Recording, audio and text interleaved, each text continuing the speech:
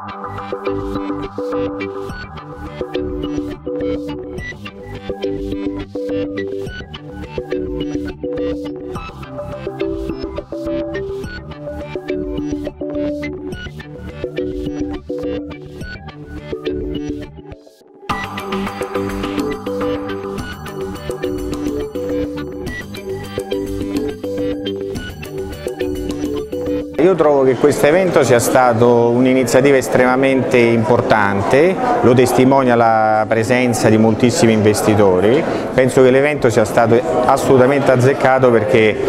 il punto di debolezza dell'AIM è proprio la carenza di investitori fino ad oggi e queste iniziative sono assolutamente da applaudire e da ripetere nel futuro.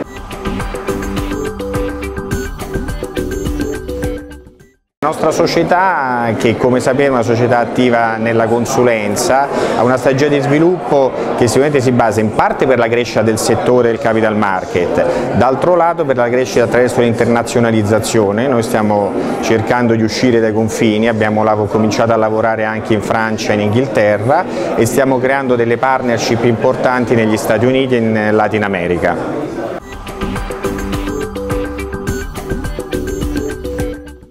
Beh, la risposta più giusta dovrebbe essere per un ritorno importante sull'investimento, noi speriamo che il nostro titolo